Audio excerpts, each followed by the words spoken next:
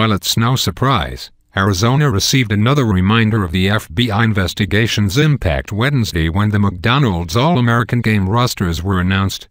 The rosters included several five-star prospects who dropped Arizona in the wake of the federal investigation along with Jahvon Quinerly, the New Jersey guard who decommitted from UA three weeks after the federal complaint quoted a sports agent saying he took $15,000 to play for the Wildcats. The other might have been Wildcats scheduled to play in the McDonald's game include center Bol Bol, now an Oregon commit, forward Nassir Little, North Carolina, and forward Simi Shittu, Vanderbilt.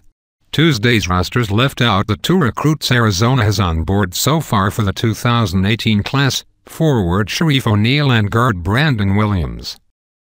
Williams has been battling a knee injury that kept him largely out of the recruiting scene for the past year, while O'Neal is considered a borderline five-star prospect. 24 7ths ranks him as a four-star prospect while ESPN has him as a five-star.